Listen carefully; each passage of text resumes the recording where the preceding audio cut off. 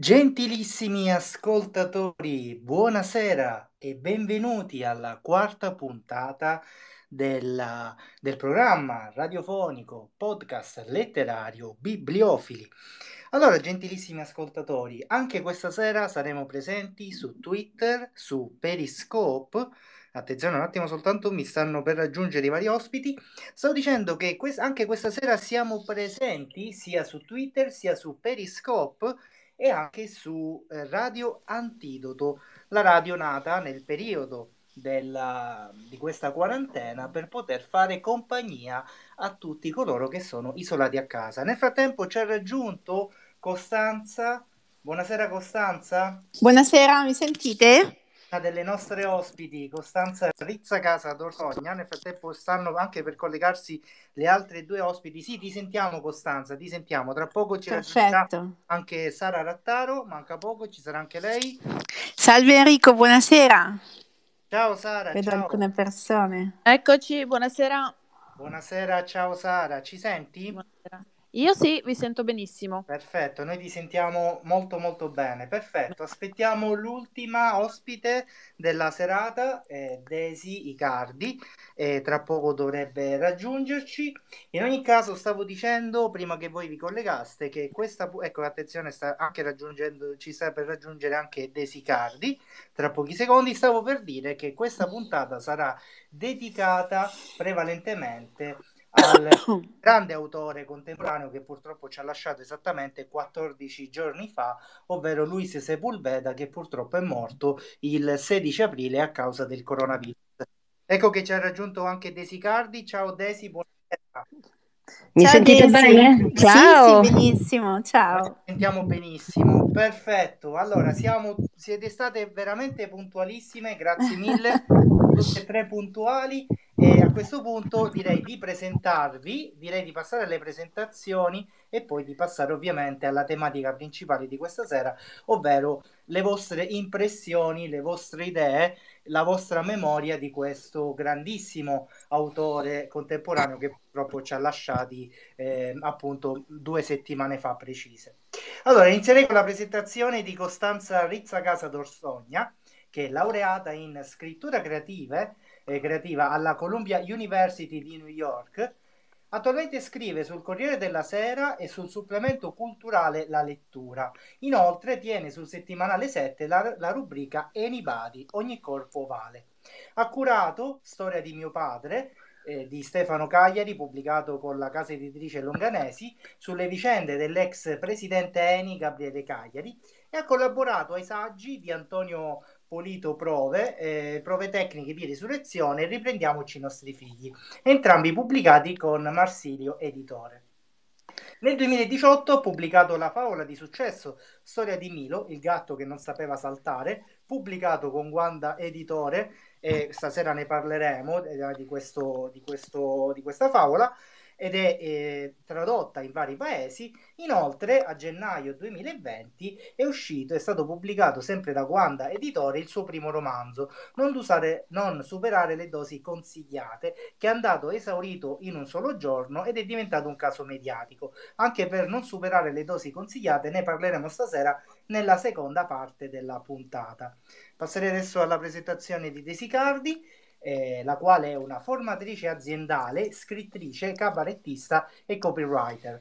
Laureata al DAMS di Torino in teatro d'animazione, dal 2006 calca i palchi di cabaret con lo pseudonimo La Desi. Inoltre, in questi anni ha firmato numerosi testi teatrali e alcune regie. Attualmente è impegnata con un monologo tragicomico dal titolo I diari del bastone bianco, nel quale racconta la sua esperienza di ipovedente. Con Fazzi Editore ha pubblicato L'annusatrice di libri nel 2019, che è stato già pubblicato, eh, è stato già tradotto in quattro lingue ed è stato anche finalista al, al European Union Prize for Literature e eh, nel 2020, esattamente a febbraio, due mesi fa, è stato pubblicato sempre con Fazzi Editore La ragazza con la macchina da scrivere e quest'ultimo romanzo eh, ovviamente ne parlerà Desi nella seconda parte della puntata.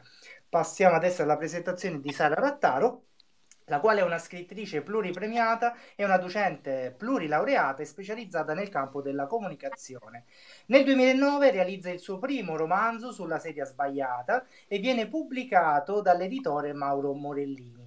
Nel 2012 viene pubblicato da Giunti Editori il suo secondo romanzo, Un uso qualunque di te, che è stato tradotto in ben nove lingue.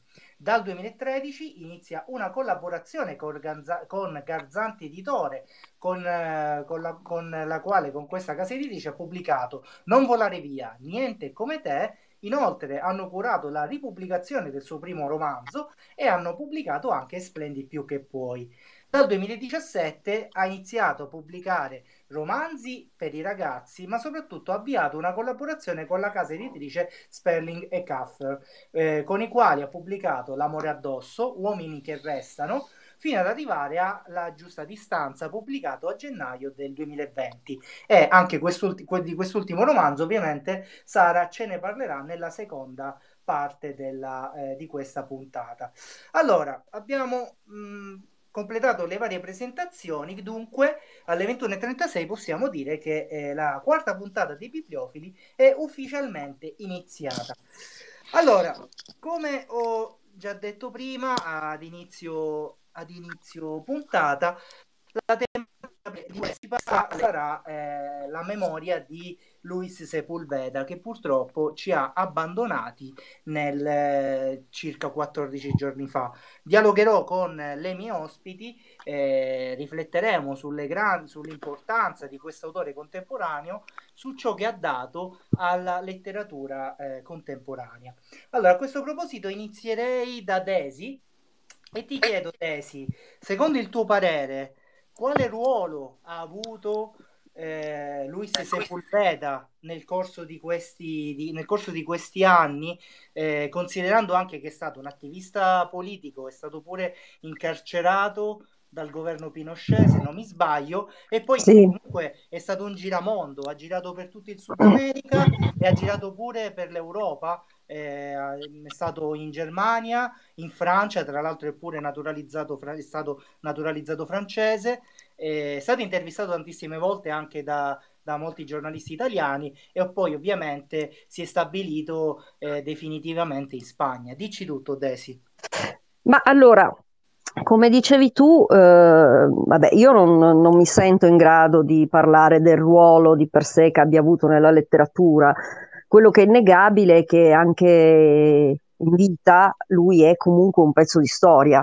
Eh, appunto, come dicevi tu, è stato incarcerato nel, dal governo Pinochet, si trovava proprio al palazzo, nel palazzo di Allende, dove Allende fu ucciso. Eh, è stato incarcerato, è stato sette mesi in una cella dove non poteva neppure stare in piedi quanto era piccola, e, e uscito di lì ha continuato a fare l'attivista finché poi ha avuto una condanna all'esilio. E detto ciò, è comunque un personaggio eh, controverso, particolare. Ad esempio, quando se ne andò Uh, dal Sud America la prima volta lo fece per andare, eh, se non sbaglio, in Svezia a insegnare spagnolo, arrivato in Spagna uh, scappò decise che no, non faceva per lui e iniziò, come aveva eh, vagato nel Sud America, iniziò a, a, vagare per l'Europa finché poi, appunto, come hai detto tu, lui aveva la cittadinanza francese, mi pare. Mi pare e, e, e, quindi diciamo che eh, di fronte a biografie del genere, la scrittrice come me eh, si sente un po' in soggezione perché comunque questa vita di per sé era, è, è stata un'opera d'arte. Cioè, mh, quando leggi di persone del genere dici sì, ma io nel mio piccolo co- cosa posso dare? Cosa, mh, cosa, posso dare quando ci sono persone che hanno una ricchezza di vita tale, poi condivisibile, non condivisibile, perché poi comunque era uno scrittore eh, schierato politicamente, quindi uno può anche pensarla all'opposto, ma ehm, ti viene da dire quale ricchezza mh, una vita del genere poi eh, può essere trasmessa eh, in letteratura. E lui l'ha trasmessa in migliaia di modi, anche nel teatro, eh, poesie, racconti, una produzione eh, pazzesca, però è, è, spiegabile quanta ispirazione poteva arrivare da quella vita. Poi lui è stato un attivista anche nell'ultima parte della sua vita, è stato un, un attivista di Greenpeace, per esempio. Cioè, e, e, io quando appunto mi approccio a personaggi del genere eh, mi sento veramente minuscola. Eh, perché io non, eh, non farei mai nulla del genere, ma lo ammetto tranquillamente perché non ho, non ho quella tempra, non ho quella forza, eh, non ho la forza di diventare storia mentre ancora sto vivendo come ha fatto lui. Beh, diciamo che ha avuto una, un'intensa vita e anche un'intensa produzione letteraria, quindi è veramente un gigante della, eh, della letteratura contemporanea. Credo che voi sì, poi anche, nasce anche da una dinastia di persone così. Già suo nonno eh, si era eh, rifugiato dalla Spagna al Sud America eh, per, eh, per, motivi politici, suo padre e sua madre, eh, idem, erano, lui pare sia nato, se non sbaglio, in una camera d'albergo perché i suoi genitori erano in fuga dopo una denuncia. Cioè, e, e quindi oltretutto è, è, anche una dinastia, no? diciamo, di, uh, quasi fosse il DNA a trasmettere sì, una, una, propensione, una propensione familiare, insomma. Una sì, in qualche modo. familiare. In qualche modo sì, quindi eh, a me di quest'uomo colpisce questo, che non solo ha scritto cose meravigliose, ma anche con la sua vita stessa ha scritto um, un, un, romanzo che poi è praticamente una saga familiare, visto che inizia con, uh, con il nonno. E quindi in questo senso ci vedo veramente un'incarnazione, un'incarnazione dell'arte, nel senso che lui stesso ha, ha saputo farsi arte. No, no, sono assolutamente d'accordo con te. E allora, intanto Sara vedo che ci ha, eh, ehm, ha problemi di connessione, eventualmente adesso la contatto. Spero di non aver detto io qualche cavolata che ha detto no, io no, me ne vado. No, no, no, no, no, no, io queste cose non le posso sentire, via. No, non penso, credo che abbia problemi di connessione, infatti è anche a Costanza è caduta, ma comunque ci. Io sono rientrata, ci sono, sì, credo che ah, Sara okay. avesse ecco avuto lo stesso problema Sara. mio. Sara, sei con noi? No, non c'è, non c'è. Eh, devo averla detta grossa allora. Cadeva, allora cercavo di ricontattare subito. Eccola. ecco, ecco, di vita. No, no, Sara, Sara, è tornata in mezzo a noi. Comunque passerei a questo punto a parlare con Sara. Eh, c'è un'opera che ti ha più colpito di questo grandissimo autore contemporaneo? Ma uh, sì, direi che se dovessi sceglierne proprio una tra tutte, forse andrei poi su quella che credo abbia avuto insomma il più grande eco all'inizio di, della sua carriera, che è il vecchio che leggeva i romanzi d'amore. Io l'ho amato subito, arrivò in Italia mh, all'inizio degli anni 90, ricordo di averlo letto all'università. E, ehm, insomma, come dicevamo prima, è un autore che aveva talmente tanto da dire, talmente tanto da raccontare che non poteva, non, non, non, immagino, non scrivere un grandissimo capolavoro, per quanto fosse anche un romanzo molto contenuto, molto breve. Credo che la grandezza di questa sua opera fosse proprio che in queste poche pagine è riuscito a trasferirci tantissimo. E, ehm, spero. È caduta Caduta Sara? Sara. Eh, vabbè, allora possiamo risolvere così. La chiamo al cellulare e avvicino il, il telefono, il cellulare al microfono. Aspettate, forse ci sta riaggiungendo nuovamente qui su Twitter e su Radio Antidoto. Tra pochi secondi. No, no, l'unica che cade eh, è Sara, che ora in questo momento ci ha raggiunto. Sara? Eccomi, eccomi, non so se mi stai parlando, eccomi, abbiate pazienza, non so cosa succede. no, tranquilla, tranquilla, è un problema allora, di comunque. Allora, cercherò di essere concisa per, per, vincere i tempi della mia connessione.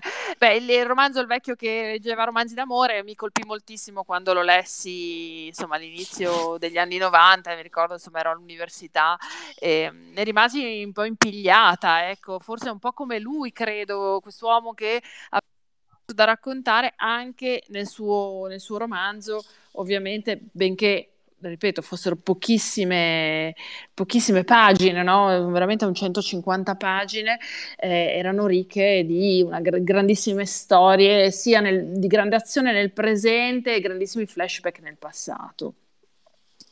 Sì, Continuate a sentirmi, sì. Mi continua a sentire? Sì, sì.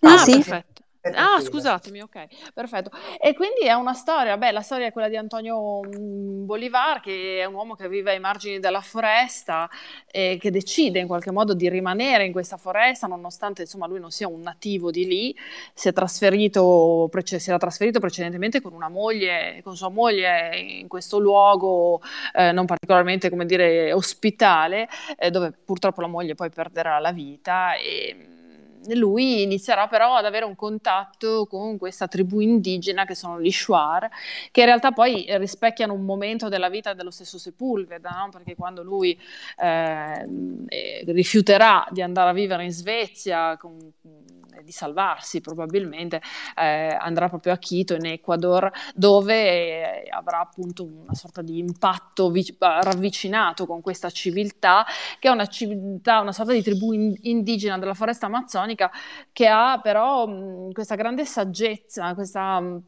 eh, questa grande capacità di rispettare la natura perché conosce la natura, cioè come se la natura fosse un'entità altrettanto importante, che era un atteggiamento molto contrario invece a tutto quello che, che spesso si sentiva e si sente tuttora, no? Del, dell'egemonia degli uomini eh, sulla natura stessa. E il protagonista di questo romanzo di fatto impara a vivere attraverso le leggi di questa tribù, no? quindi impara a capire la natura, a rispettare la natura, a usare la natura per, eh, per, per, per essere diciamo, un uomo migliore sostanzialmente. Vabbè, è una grande storia, una storia diciamo, che ha un, un tempo iniziale breve, una storia di diciamo, le, il tempo narrativo del, del, presente è molto breve e ricorda anche un po'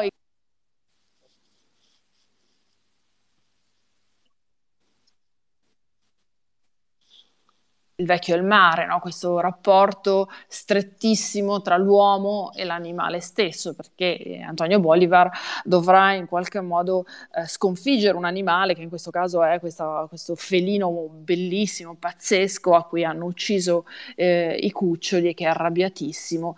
E, e quindi c'è tutta questa storia iniziale, questa storia diciamo presente, no? in cui vede appunto eh, l'evoluzione di questa storia eh, ci ha abbandonati nuovamente Sara, però adesso mm. la chiamo, così almeno potrà concludere il, il suo discorso, la sua recensione con, del primo romanzo eh, di Sepulveda. Un attimo soltanto, gentili ascoltatori, scusate per questo intoppo, purtroppo eh, Twitter, problemi di connessione vari non permettono una, una trasmissione costante. Un attimo soltanto che avvicino il il cellulare al microfono, così Sara ci potrà rispondere via telefono. E in questo momento risulta linea occupata. Un attimo soltanto.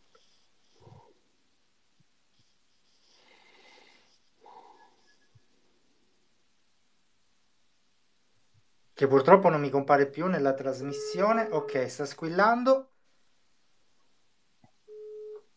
Eh, però mi ha staccato. Allora, a questo punto passerei a Costanza e poi magari con, con Sara concludiamo eh, la discussione. Ah, ok, sta, ri- sta ritornando Sara.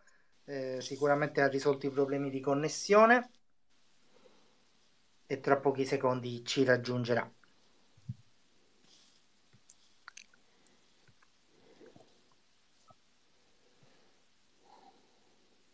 No, niente, non riesce a connettersi. Va bene, io passerei a Costanza. Costanza, tu di quali, di quali opere vorresti parlare di questo grande autore?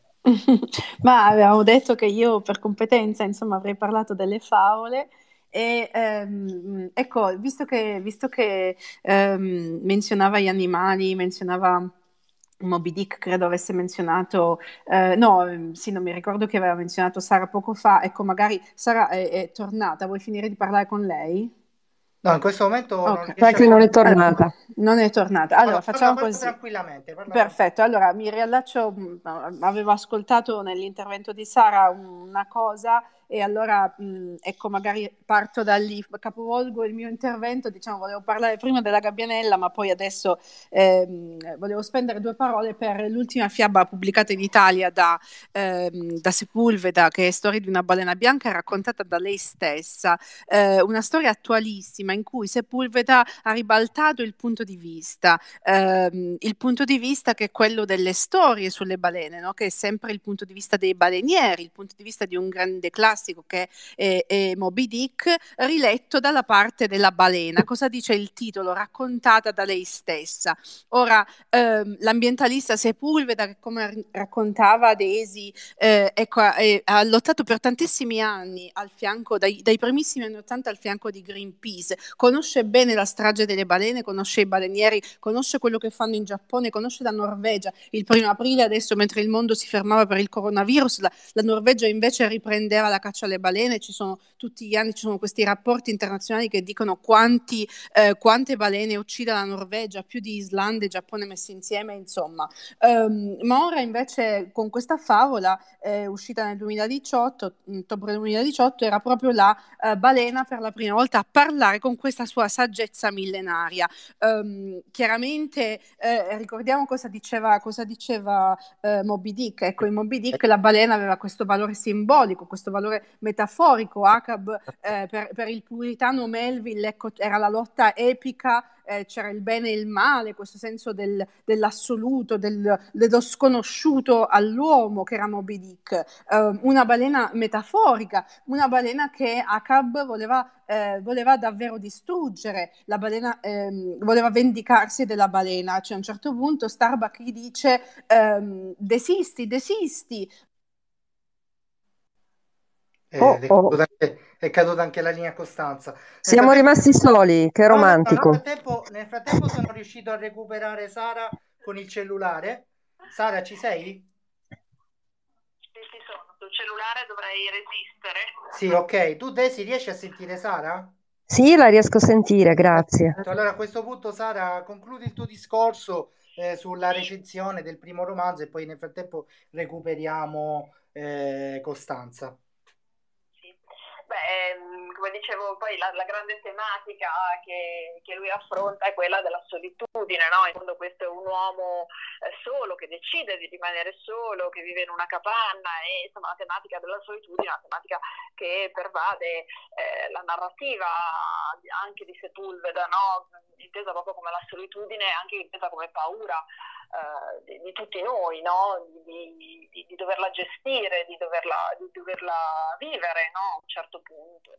E ci sono poi insomma, le tematiche, come dicevo, che si ritrovano poi nei grandi libri che lui ha sempre dichiarato ovviamente di aver dire, utilizzato un po' come fari, no? che erano appunto Moby Dick, il vecchio e il mare, dove c'è questo rapporto fortissimo tra uomo e animale e poi tra uomo e foresta, per cui lo stesso libro eh, inizia con una una dedica a Mendes, che era un, un, uomo che appunto aveva eh, combattuto per difendere no, la, la, la, bellezza e la grandiosità della foresta che, che amava, eh, ovviamente difenderla da, da, tutti gli altri, che erano ovviamente gli avventurieri, i coloni, no? che invece avevano questo, questo, modo di entrare a gamba tesa, che purtroppo è qualcosa che vediamo molto spesso, no? e che è poi qualcosa che lo stesso Sepulveda ha sempre in qualche modo fatto un po' suo vessillo di, di battaglia, no? l'essere un, un, ecologista in qualche modo, no? anche un po' precursore di, di certi tempi, no? cioè, cioè, certe sue battaglie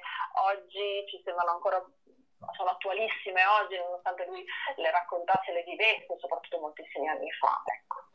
È un romanzo bellissimo, io vedo la grandezza di questo romanzo sia nel fatto che in un'opera, come dicevo all'inizio, di davvero eh, poche pagine un, è talmente intriso di, di cose da raccontare, di, di storie che si di avventura, di grandi riflessioni, di grandi descrizioni, che credo che insomma, forse è proprio un grande autore che ha avuto anche una grande vita vissuta come la sua, no? una vita diciamoci anche un po' sudata, no? dove le cose insomma eh, non andavano quasi mai lisce e lui sì, poteva insomma le complicava, ecco, le complicava ovviamente a ragione di idee politiche, di idee appunto di ideologie in cui perdeva molto.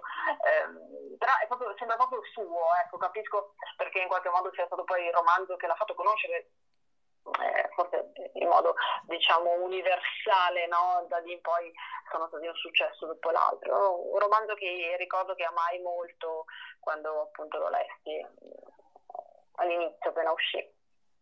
Sì, vabbè, devo dire che comunque sei stata, eh, nonostante le problematiche di connessione, vabbè, adesso abbiamo risolto, comunque credo che dopo questa tua recensione molti andranno in libreria una volta che finirà il coronavirus a comprare questo ah. libro e, e perché hai veramente fatto una, una bellissima recensione di questo, di questo, primo romanzo, di questo romanzo d'esordio del, dell'autore contemporaneo che ci ha abbandonati purtroppo 14 giorni fa. Allora, eh, se per te non è un problema, Sara, eh, staccherei con te e poi e richiamerei Costanza, che anche lei ha problemi di connessione, non riesce a connettersi qui sulla trasmissione certo. di Twitter, eh, in modo tale che cercherò di alternarvi. Nel frattempo tu prova a... Aspetta, aspetta, no, forse puoi rimanere in linea perché Costanza ha fatto nuovamente la richiesta per poter tornare in, in trasmissione, tra poco ci raggiunge. Costanza, ci sei? Eccoci, dove ero? Fi- dove, dove vi siete? Fe- cioè, dove sì, sì, la vedo che sta arrivando. Io sono qua, dove... dove... Eh, diciamo, io diciamo che Costanza sarebbe opportuno se ricominciassi da capo perché oh, sì. dopo, dopo, un minuto, un minuto e mezzo praticamente oh, era, caduta, era caduta. Va bene, allora... Eh, in, ogni all... caso, in ogni caso stai tranquilla perché ho recuperato Sara con, con, il cellulare, ho avvicinato il, il, cellulare al microfono in modo tale che abbiamo risolto eh, le problematiche di connessione di Sara. Io proprio sono andata, ok, va bene, ci sì, sì, no, no, tu sei, sei mancata per, Niente. per un po', per almeno, allora, allora da, da questo ricominciamo. Sei arrivata... Sei arrivata a quando Starbucks gli, eh, chiede a ACAP di desistere. Di desistere, ecco sì, va bene, allora più o meno era finito. Parliamo della gabbianella e il gatto. Allora, stavo dicendo la gabbianella e il gatto, chiaramente la nostra, la gabbiota che abbiamo imparato ad amare tanto, pubblicato per la prima volta in Italia nel 96 da Salani, lo stesso anno di uscita in lingua originale. E eh, la storia di tutte le storie, dicevo, non è una favola, ma è una parabola, è eh, una storia che ehm, ha in sé tutti, tutti i temi, cari Sepulveda, l'amore per la natura, la solidarietà, l'amicizia il coraggio, aiutare chi è in difficoltà. Eh, dobbiamo, ecco, dietro la, la, leggerezza dei racconti di Sepulveda, l'apparente leggerezza dei racconti di Sepulveda, c'è una vita segnata dal dolore, come ricordava appunto, come ricordavate all'inizio, ed è per questo che Sepulveda sa rendere con estrema semplicità queste storie che sono in realtà profondissime e, eh, e dense di ideali. Allora lì prometti che non mangerai l'uovo, dice a Zorba, la gabbiana Kenga finita in una pozza di petrolio in fin di vita.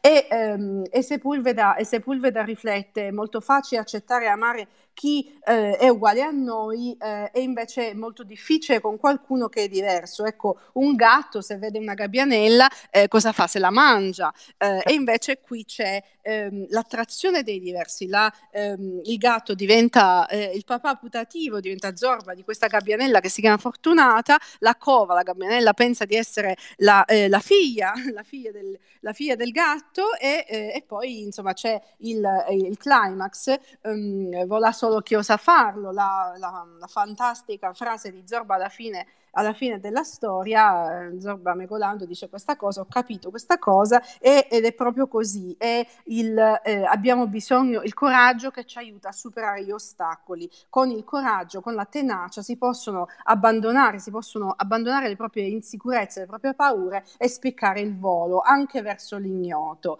E, ehm, e appunto stavo ricordando che quando poi due anni dopo, credo nel 98, uscì il film, ehm, Sepulveda stesso eh, doppiò, ehm, doppiò il film nella parte del poeta, eh, che appunto era proprio lui. E ehm, nella mia favola Storia di Milo, che è uscita nel 2018, in contemporanea con Storia di una balena bianca raccontata da lei stessa, l'ultima favola di Sepulvero italiano, come dicevo, eh, avevo ribaltato il punto di vista.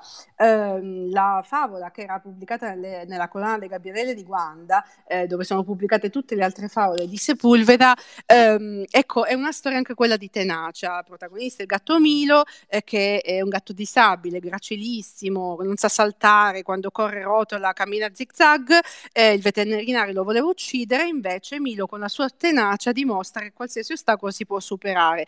Eh, in uno dei primi capitoli c'è un incontro eh, importantissimo con il gabbiano Virgilio, eh, l'anima ecologista della favola, che ehm, appunto gli parla delle città e di come eh, gli animali e gli uomini dovrebbero imparare a convivere piuttosto che mh, appunto tutto quello che diciamo contro i gabbiani, per esempio in una città come Roma, eccetera, e poi il gabbiano insegna, insegna proprio al gatto Milo che non sa saltare, insegna a saltare. Ogni volta che io porto, um, finora ho visto um, circa 12.000 bambini, più di 12.000 bambini delle scuole italiane um, portando la mia favola, ogni volta appunto parlo di questa, di, questa um, ecco, di, di Sepulvede della gabbianella e il gatto.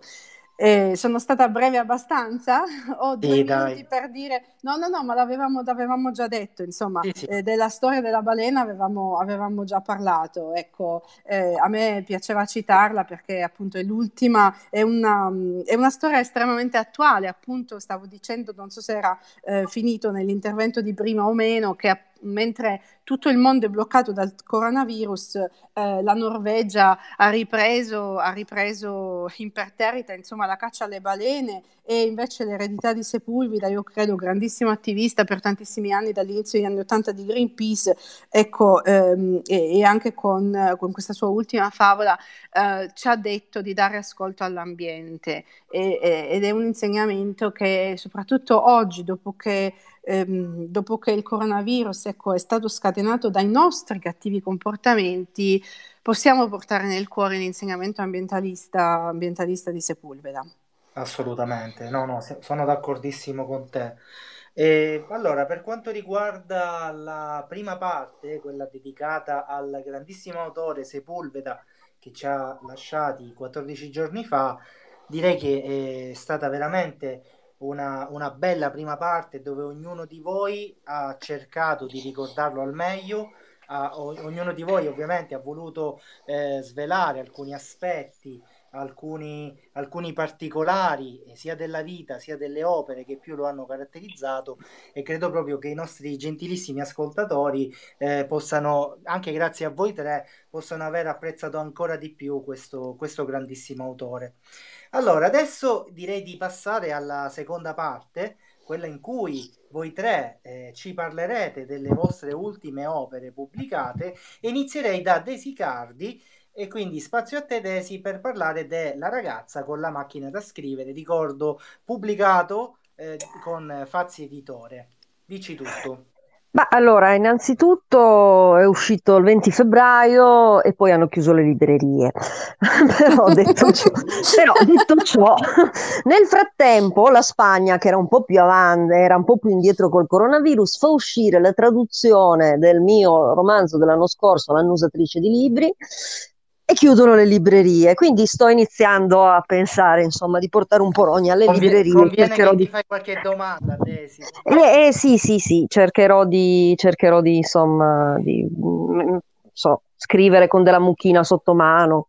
Comunque, detto ciò, eh, la ragazza con la macchina da scrivere, nella mia idea, fa parte di una pentalogia sensoriale, ovvero eh, la mia idea eh, era iniziale, era quella di scrivere cinque racconti collegati tra loro eh, da alcuni personaggi, ma indipendenti tra loro, un po' come nella Comedie Humaine di Balzac, tanto per ispirarsi, insomma, a qualcosa di... Eh, e, mh, e il primo eh, racconto fu L'annusatrice di libri, solo che poi mi sfuggì la mano e mi ritrovai con un romanzo piuttosto corposo, e mi ritrovai con 400 pagine, quindi diciamo che questo progetto è stato poi traslato su una pentalogia di romanzi. Eh, il primo, appunto, L'annusatrice di libri, è una celebrazione della lettura eh, come eh, diciamo, attività multisensoriale. E infatti la protagonista eh, Adelina, questa ragazzina che perde la capacità di leggere ma scopre di poterlo fare con l'olfatto. Eh, nella ragazza con la macchina da scrivere io invece celebro la scrittura attraverso il tatto, ma non la scrittura in senso diciamo creativo, emotivo, proprio in senso fisico. Ecco perché eh, ho scelto come protagonista non una scrittrice, un'autrice, ma una dattilografa, una che le storie non le scrive, semmai le trascrive e lo fa proprio con, con il corpo, con, con le dita. Con, e poi a un certo punto in qualche modo ricostruirà anche la sua stessa storia grazie alla memoria tattile, che sembra una cosa tanto astratta, ma la memoria tattile è poi quella che ci fa ricordare il pin del cellulare quando ce lo dimentichiamo. E non quando soltanto siamo, quello. Non quando siamo lì che ragioniamo su che numero è, prendiamo il cellulare in mano e il pollice va da solo. Comunque la storia si svolge su due piani temporali. Eh, troviamo Dalia negli anni 90, settantenne, che ha avuto un piccolo, quello che lei definisce un piccolo incidente, cioè ha avuto un leggero ictus che le ha tolto eh, i due mesi precedenti di memoria.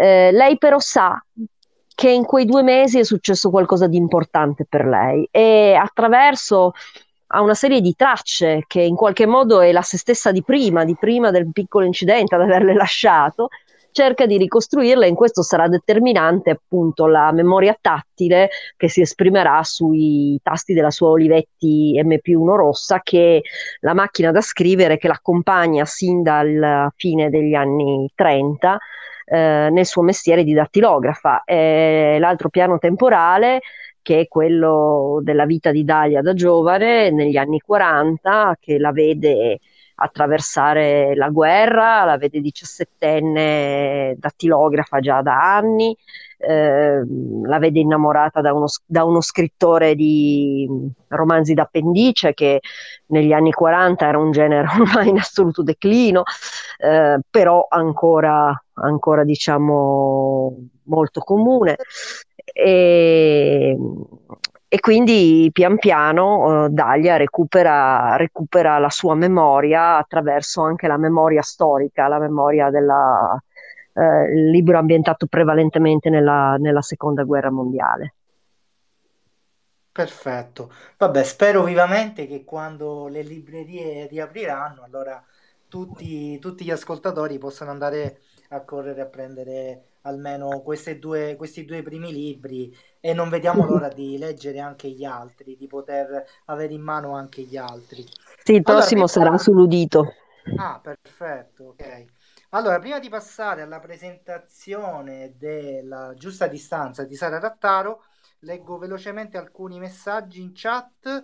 Allora, vabbè, mi fanno i complimenti perché ho trovato tre splendidi scrittrici come ospiti, quindi vabbè i complimenti ovviamente vanno a voi tre. Io sono semplicemente eh, un ragazzo che vuole dare tanto spazio a, agli autori, a, anche a chi ha profili eh, culturali e vuole creare, vuole creare condivisione culturale. Poi fanno i complimenti a Costanza per quanto riguarda la tua riflessione anche per Sara dei bellissimi complimenti e poi scrivono anche eh, per Desi per fortuna che ti gira la mano in, modo ta- in modo tale che tu abbia veramente bel materiale per poterci deliziare nel corso dei prossimi anni Okay. Beh, diciamo che la sintesi è un dono a cui qualunque scrittore aspira, eh, perché come prima che si parlava del, del, vecchio che leggeva romanzi d'amore, quando sento di un romanzo scritto di 150 pagine ha già tutta la mia ammirazione, perché io veramente a un certo punto vengo presa da un folletto che mi fa continuare a scrivere e non sempre è positivo. Sì. Vabbè, ma comunque giustamente qualsiasi tipologia di romanzo eh, è importante la tematica più che altro la lunghezza, almeno io sono... Sì, certo. Allora, a questo punto direi di passare a Sara eh, e alla presentazione del romanzo La giusta distanza. Eh, rip- eh, ripeto, ricordo, pubblicato con Sperling e Kaffer, sempre nel 2020, giusto? Sì, siamo usciti a gennaio per fortuna, visto quello che è successo, abbiamo avuto un minimo di respiro eh, normale, di lancio normale. prima che crollasse tutto, ecco. Sì, eh, dici tutto, parlaci, parlaci allora, di questo sì, romanzo. la, beh, la giusta distanza è una lunga storia d'amore di due eh, ragazzi normali che si chiamano Aurora e Luca sono due, lei ha quasi 40, lei intorno ai 40, lui intorno ai 50 e stanno già insieme da più di 20 anni e sono arrivati a un punto della loro unione in cui devono capire se è necessario, è fondamentale o importante salvare questo matrimonio come forse avrebbero fatto i nostri genitori, i nostri nonni e quelli che riuscivano a salvare eh, le grandi storie d'amore o se invece eh, oggi è possibile lasciare andare per andare a cercare la felicità da qualche altra parte e quindi legittimamente cercarsi il cosiddetto piano B. No? Sì. E quindi è una storia che riguarda una generazione generazione gli adulti di oggi che almeno una volta nella vita si sono chiesti ma come facevano i nostri nonni a salvare i, nostri, i loro matrimoni, ad andare avanti per così tanti anni e insomma a riuscire a consolidare qualcosa, mentre noi siamo una generazione che sembra sempre un po' pronta a ripartire, non sempre in partenza. Ecco, e in realtà non c'è una risposta ovviamente a questa domanda e forse è anche assolutamente sciocco mettere a confronto due generazioni che per quanto non siano così lontane in realtà vi, vi, eh, vivono e vedono una grande separazione sia in quello che è la comunicazione sia che in quello che è il concetto di, di famiglia. Eh, e quindi questi due personaggi dovranno cercare di capire che cosa fare. Il romanzo inizia con Luca, è su un aereo, sta andando in Germania per un colloquio di lavoro importante, potrebbe essere l'occasione giusta per andare dall'altra parte dell'Europa appunto a fare quella carriera, forse anche l'ultima occasione per avere un riconoscimento lavorativo così importante, ma forse potrebbe anche essere dire, l'occasione anche per lasciare Aurora, che è una donna che lui ha amato moltissimo, ma è anche una donna molto difficile, è una donna che lui ha conosciuto quando era giovanissima, lei stava finendo le scuole superiori quando si sono innamorati e lei è rimasta senza la mamma poco dopo. E in qualche modo avendo un papà che non aveva intenzione di occuparsi di lei, lui l'ha preso tra le braccia e se ne è occupato. E quindi questa ragazza era troppo giovane per un grande dolore, ma era anche troppo giovane per fare la moglie. E nel frattempo è cresciuta, quindi è un po' una, è cresciuta cronologicamente, cioè in, in, età anagraficamente, ma, ma, sembra a volte non essere cresciuta, sembra un po' bloccata dal punto di vista emotivo, sentimentale e, e Luca invece è un ragazzo più costruttivo, più più risolto sotto certi punti di vista, che ha dato tanto per questo matrimonio. Forse è arrivato il momento di, di accedere a quel lavoro e di utilizzare questa situazione, questa, questa scappatoia per in qualche modo lasciare anche andare il suo matrimonio. Il problema è che quell'aereo inizia a traballare e le hostess dicono che bisogna tornare indietro perché c'è qualcosa che non va. E quando Luca capirà quella situazione, sentirà passare la vita davanti, non potrà chiamare nessuno, eh, non saprà esattamente che cosa potrebbe succedere, per quanto siano pochissimi minuti di paura, sono intensi e particolarmente pericolosi, quando toccherà terra eh, capirà eh, qual è la decisione della vita no, da fare, perché, perché, quando sei lassù e pensi di poter morire, in realtà pensi alla vita e pensi a tutte quelle cose che forse ci chiediamo un po' troppo poco, no? eh, dove sono, chi sono, era questa la vita che volevo, sono arrivato dove, dove ho realizzato quello che sognavo, mi piaccio, sono, sono, io, sono veramente io questa persona, ecco, allora forse lui si sveglia ecco, in questo momento un po' turbolento e passerà una focosissima notte d'amore però perché, perché quando si, ci si salva eh, da uno scappato pericolo forse bisogna fare una delle cose più belle della vita cioè omaggiare la vita. E quindi lui con, la, con una sconosciuta che avrà vissuto la stessa turbolenza qui insieme eh, vivranno questa notte d'amore che in qualche modo spiegherà tante cose eh, sul concetto di vita sul fatto che la vita poi è più questo e adesso che non tutto quello che pensiamo che dovremmo fare nei prossimi momenti e nei prossimi giorni. Ecco.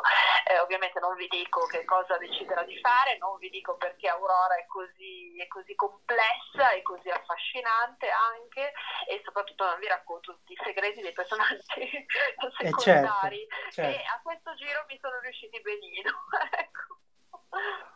Va benissimo, grazie Sara per gli ottimi Grazie spunti. No, grazie a te per gli ottimi spunti, per tua, il tuo breve riassunto in, delle parti iniziali del, del, tuo romanzo, La giusta distanza, e, e, grazie anche per queste tematiche familiari. E a questo punto, se gli ascoltatori eh, fossero interessati alla giusta distanza, ovviamente qualo, quando riapriranno le varie librerie, ovviamente possono tranquillamente andarlo a comprare.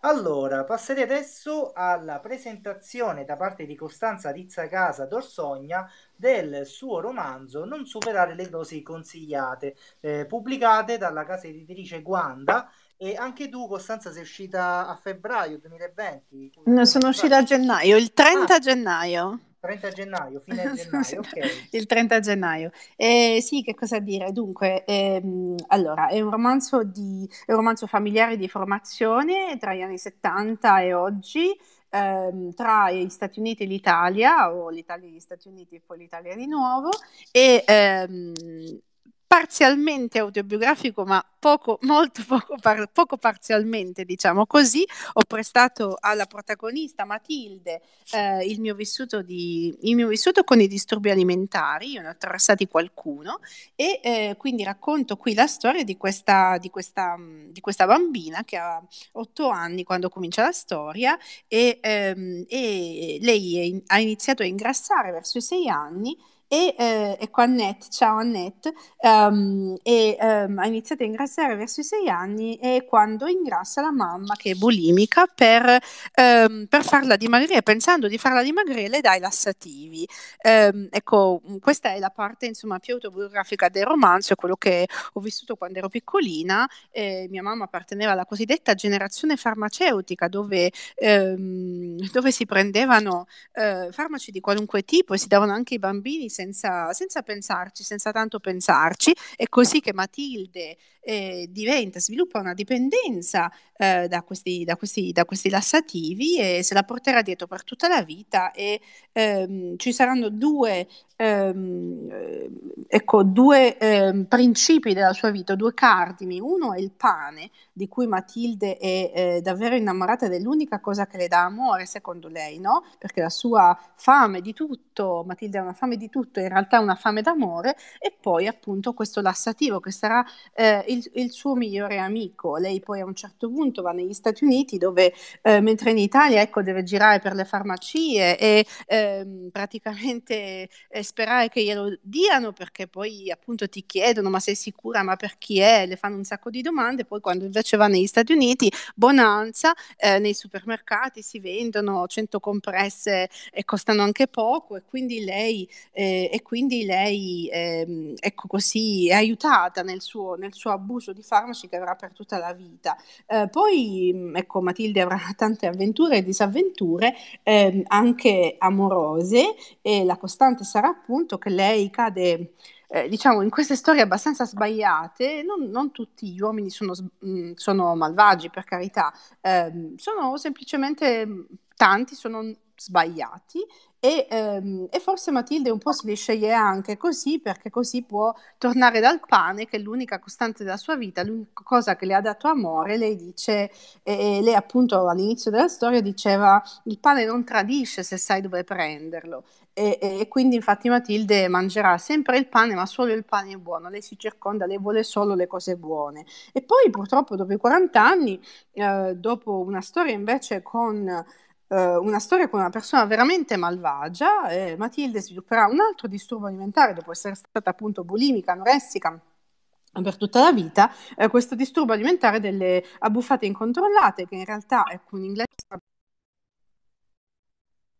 il disturbo alimentare di cui non si parla mai, ma di cui soffrono più persone in assoluto nel mondo, eh, molto più di anoressia e bulimia insieme. E lei svilupperà questo disturbo e ehm, siccome è, in, è, praticamente impossibile avere questo disturbo senza diventare obesi, per la prima volta Matilde si troverà di fronte alla discriminazione verso le persone obese e, eh, e quindi ecco, è un, eh, un, un dolore sopra un dolore. Io volevo tentare di essere innanzitutto autentica, eh, non necessariamente con eh, aneddoti reali della mia vita, ma autentica nel senso che è proprio così. Parliamo di abuso di lassativi, raccontiamo quello che succede, parliamo di anoressia, di bulimia, raccontiamo quello che succede se una persona vomita tante volte al giorno. Eh, Matilde vive eh, appunto in questa famiglia dove eh, la mamma vomita davanti a lei, vomita tutte le volte che mangia, stramangia e poi va a vomitare e i lassativi sono lì sulla mensola della cucina, eh, sono proprio in vista e nessuno si pone il problema di questi bambini che guardano la mamma vomitare, che guardano la mamma appunto che corre in bagno, in casa nel bagno non ci sono porte, nessuno si preoccupa di come crescono questi bambini, con che modello crescono questi bambini. E ehm, perché insomma è un po' così, perché di tante cose prima no, non se ne parlava e anche la mamma di Matilde è una persona fortemente disturbata, sta molto male lei stessa, non si rende conto eh, di, quello che, di quello che sta poi facendo appunto ricadere sui suoi figli e, e quindi l'abuso eh, cui spinge la figlia è quello che lei stessa e quello che lei stessa fa- aveva fatto, quello che lei stessa appunto sin dall'adolescenza, poi si prendevano altre cose, cose ancora peggiori. E quindi in parte insomma è, un, è anche un romanzo sulle dipendenze, poi un romanzo sul perfezionismo, il perfezionismo che ci porta a fare, a fare tutta una serie di scelte, è un romanzo che ehm, non è lineare, è scritto un po' come un flusso di coscienza, è molto molto molto forte. E che altro dire, spero che lo leggerete. Grazie anche a te Costanza, devo dire che anche il tuo romanzo propone degli spunti di riflessione, poi veramente interessante anche la parte autobiografica che hai voluto inserire ne- nella tua opera. E spero vivamente che anche per te eh, i nostri ascoltatori possano, possano, dedicare un acquisto e possano andare in libreria per comprare, eh, non superare le dosi consigliate, ovviamente quando il coronavirus ce lo permetterà. Allora, leggiamo è, è molto coraggiosa come, come scelta narrativa. Cioè, io sicuramente no, perché comunque ci sono fa- abusi e abusi di farmaci. Ci sono quelli più poetici, diciamo, e più eroici, eh, quelli che la letteratura il cinema hanno già sdoganato, come l'abuso di antidolorifici, per esempio, o l'abuso di ansiolitici. Parlare di abuso di lassativi, che è assolutamente sacrosanto, eh, perché comunque io non so quante persone ne soffrono, ma mi ricordo che da giovane ce n'erano tante quando ero ragazzina che abusavano di, e quindi immagino che adesso sia, sia lo stesso è veramente molto coraggioso perché narrativamente è difficile, quindi complimentoni, io lo leggerò senz'altro. grazie sì, Desi, grazie. Sì, Onoratissima. sì, diciamo che è una storia che, come posso dire, avevo de- evidentemente avevo dentro e, e mh, avevo dentro questa cosa, ha segnato tutta la mia vita, poi anche se le esperienze non, non, non coincidono sempre, quelle mie di Matilde, insomma, siamo molto vicine nell'infanzia, poi, eh, poi anche dopo, come abbiamo abbiamo affrontato il disturbo ehm, nell'ultima parte della vita, insomma ci distacchiamo, però ehm, è così, evidentemente era una, cosa che, era una cosa che avevo dentro e che poi alla fine ho visto che mi premeva raccontare, ecco, sono un po' stata travolta dal, dal fervore del racconto, prima non pensavo che interessasse a nessuno, poi quando mi sono messa a scrivere ho scritto 75 pagine per me in pochi giorni, che per me è una cosa impossibile e, e sono più o meno così, esattamente come, come sono venute fuori e poi mi sono resa conto che era una cosa che che, mh, mm, a cui tenevo, ecco perché poi eh, ci ho fatto altre cose intorno, tengo questa rubrica, poi mh, sai, le, le, cose nella vita sono, io sto già pensando al prossimo romanzo che non ha niente a che fare su questo, però ecco, queste, ho, ho, det, ho dato a questo romanzo una specie di, una specie di, una parte della mia vita, ecco, e, e lì eh, non sono cose che poi ritornano, che sono possibili in tutte le cose che scriviamo, ecco. Costanza ti ha cambiato in qualche modo il poterti raccontare, non so se posso rispondere a questa questa domanda. Sì, sì, sicuramente, sicuramente mh, mm, mi sentivo, pensavo di essere una persona molto più debole prima ed evidentemente il ruolo, il fatto che, um, il, fatto che ecco, il, ruolo che mi ha dato questo romanzo um, sicuramente, sicuramente mi ha cambiata. Per esempio, adesso dicevo sempre l'isolamento, l'isolamento um, che è il, il più grande nemico dei disturbi alimentari. Io avevo questo terrore dopo essermi chiusa in casa per tre anni anni, quando ero diventata obesa, avevo, ero veramente spaventata in questo isolamento da coronavirus di ricadere nel disturbo. Invece l'avevo scritto anche l'altro giorno proprio su Twitter, ho detto sì, sì, anch'io ho stramangiato come tutti, però non sono caduta in quel disturbo mentale che avevo prima. Ecco, ehm, in, in qualche modo sono molto più forte oggi e probabilmente sono molto più forte oggi per la consapevolezza che ho preso e quindi anche attraverso questo romanzo, insomma, che poi alla fine ha aiutato me e secondo me mh, le cose sono così, se lo scrivi per te poi può essere anche per gli altri, se aiuta te poi può aiutare anche gli altri, eh, no, non può esserci invece l'altra cosa, ecco. Sì, è stata anche un po' una scrittura, un po' una, sì, sì, no, eh, si, si, capisce che è stata anche un po' una scrittura terapeutica, hai gettato tutto quello che avevi dentro alla fine il risultato eh, credo che sia, sia veramente ottimo. Allora, in chat vedo tantissimi complimenti. Antonio Salzano, il grande amico che insieme a Salvatore Belzaino e Michele Ierardi eh, conduce Radio Poesia ha scritto storie interessantissime. Poi Giorgia di Scrivo Arte ha scritto splendide presentazioni. Poi eh, Ella di eh, Scrivo Arte ha scritto esperienza davvero forte, difficile anche da raccontare, credo che si riferisca a Costanza. Poi sempre Giorgia ha scritto bellissimi romanzi a sfondo psicologico e autobiografico. Continuano ad esserci complimenti per tutte e tre, complimenti davvero a tutte e tre. Eh, poi Daria, eh, ieri è stata mh, ospite di Radio Poesia, ha, ha, let- ha scritto una eh, ha scritto, l'ha raccontato così tanta lucidità che ha fatto venire voglia di leggerlo. Eh, poi vabbè, credo che la domanda sì, tu hai già risposto, Costanza, ti ha cambiato in qualche modo il poterlo raccontare, sì, già hai risposto. Eh, e comunque ci sono veramente tantissimi, tantissimi complimenti per voi, complimenti a tutte le autrici. Eh, complimenti per Costanza, sia per Desi che per Sara.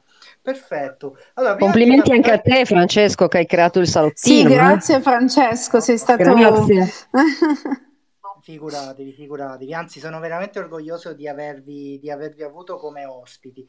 Prima di passare ai saluti finali e ringraziamenti, però vorrei leggere tre poesie che... Eh, del contest. Eh, le tre ospiti non lo sapevano, è stata un'improvvisata di oggi pomeriggio pensata con Salvatore Belzaino di Radio Poesia, eh, di Poesia Italia, il suo profilo Twitter. Abbiamo avviato un contest oggi pomeriggio e, e a questo punto, prima dei saluti, leggerei le tre, eh, le tre poesie che ci hanno trascritto in modo, da, in modo tale da dare spazio anche ai nostri ascoltatori.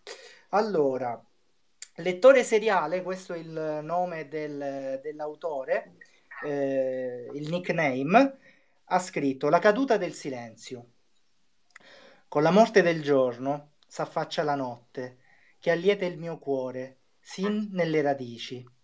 Scorgo in lontananza delle finestre illuminate, aperte in altri angoli di cielo, dove vanno da stelle in una via lattea di musiche e parole.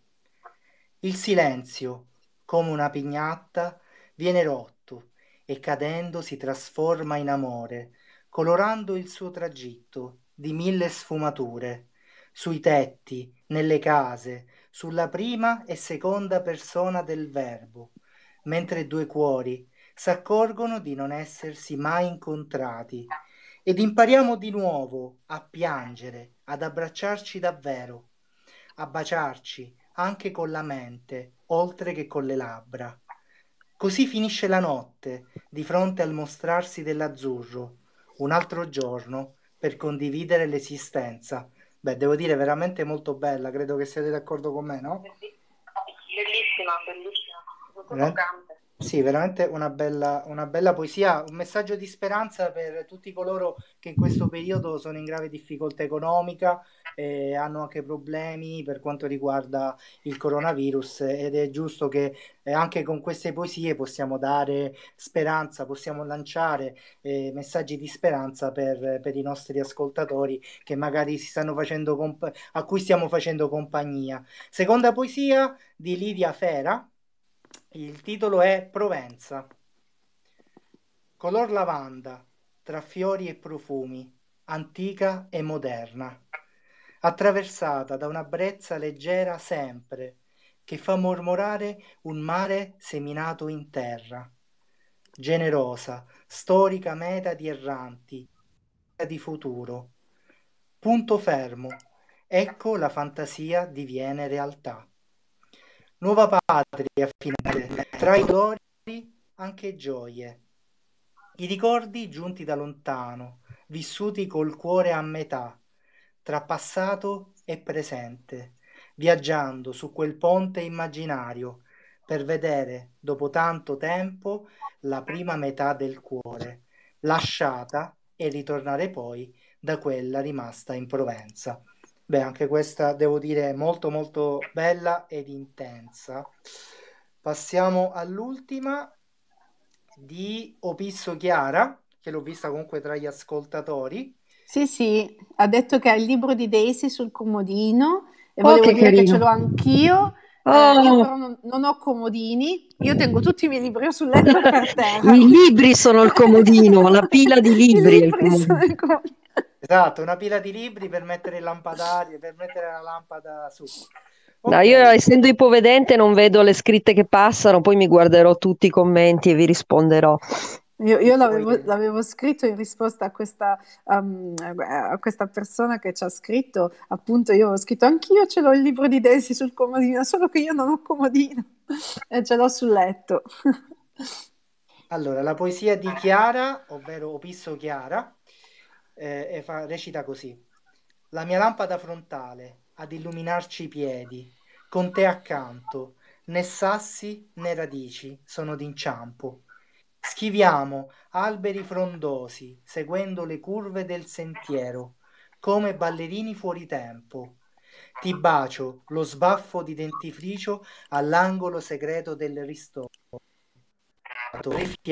Il tuo calore mi abbraccia mentre l'aurora avanza, incartando le ultime stelle. L'ha intitolata Cosa all'alba. Veramente anche questa bella una, una bellissima poesia. Eh, credo che sia un po' l'inno per i runners che dal 4 di maggio potranno un po' tornare a correre. Eh, potranno dedicarsi agli allenamenti. Ora con il nuovo decreto ministeriale avremo la, nu- la fase 2. Speriamo che ci possano essere eh, risultati ottimi e numeri sempre minori per quanto riguarda i contagi e le morti. Ok, eh, siamo arrivati ai saluti finali, gentilissime ospiti. Ora passerò la, la parola ad ognuna di voi per, per, poterci salutare, per poter salutare i, i, vari, i, vari, ascoltatori che sono stati con noi per questa intensa e meravigliosa ora. Passere, passerei ai saluti a partire da Desi. Eh, io vi saluto, sono molto grata a Francesco per l'invito, eh, sono molto grata a internet che non ha fatto cadere la connessione e a tutti voi che ci avete seguito, grazie mille e grazie a, alle mie colleghe ospiti per essere state con me eh, questa serata. Sara, Sara Rattaro, tocca a te. Sì, io un ringraziamento speciale a te e alle colleghe a tutti gli ascoltatori, mi dispiace per il collegamento un po' ballerino, speriamo di rincontrarci. Sì, certo, assolutamente. dal vivo, no? una... Sarebbe molto bello, sì. Ancora, grazie ancora. No, comunque stai tranquilla per quanto riguarda il collegamento ballerino, poi abbiamo risolto con, con il cellulare eh, messo accanto al microfono va benissimo così, tanto la tua voce e i nostri ascoltatori l'hanno sentita in ogni caso perché ho avuto alcuni riscontri, mi hanno mandato dei messaggi e ti hanno fatto i complimenti, la tua voce è arrivata lo stesso nelle case dei nostri ascoltatori. Mentre toccherebbe adesso a Costanza Rizzacasa d'Orstogna. Eh, anch'io ringrazio Francesco e poi tutte le persone che eh, insomma, hanno ascoltato e hanno mandato un sacco di messaggi. Enrico, Annette, Scrivo Arte, Daria, Eleonora, Vanessa, eh, insomma qui adesso scorrendo di tutti sono tantissimi, Chiara, Giuliano, sì, sì, eccetera, eccetera. Grazie davvero a tutti quanti e, e niente, queste serate sono molto belle, facciamone ancora.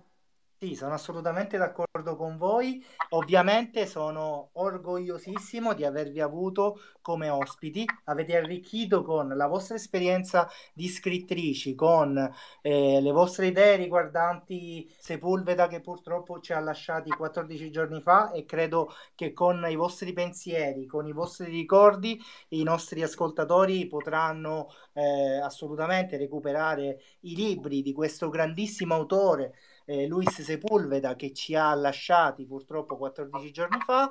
Ovviamente nella seconda parte avete dedicato eh, voi ste- tutti voi stesse, tutte voi stesse per poter descrivere, farci amare un po' con gli incipit dei, dei, vostri, dei vostri romanzi, delle vostre ultime opere eh, pubblicate e, e veramente eh, avete arricchito questa puntata. Spero che i nostri ascoltatori possano correre al più presto in libreria quando il coronavirus ce lo permetterà per poter ma si può, si può già si può già si può in molti sì. posti si può andare, si può andare e nei posti che e nei posti che non si può andare si può ordinare via internet. Esatto. No, ma poi ci sono anche molte librerie che consegnano.